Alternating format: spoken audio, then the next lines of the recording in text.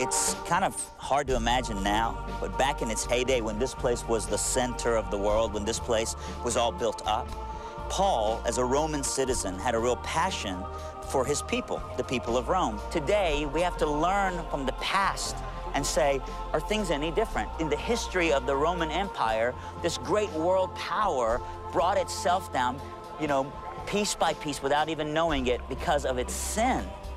Paul, in his letter to the church, the Christians here at Rome, pleads with them and he urges them. He says, Therefore, I urge you, brothers, in the view of God's mercy, to offer your bodies to God as living sacrifices, holy and pleasing to Him. He says, Do not conform to the patterns of the world.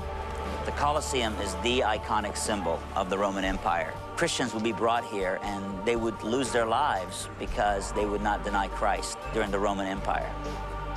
This tiny little dungeon is the Mamertine prison. This is where the Apostle Paul and more than likely St. Peter were imprisoned before they were executed. When you look at Paul, did you know that his name, the original text, that actual name, Paul, means small, it means little.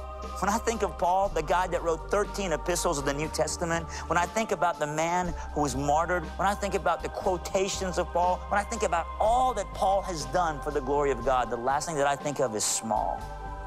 What I think of is a giant in the faith of God.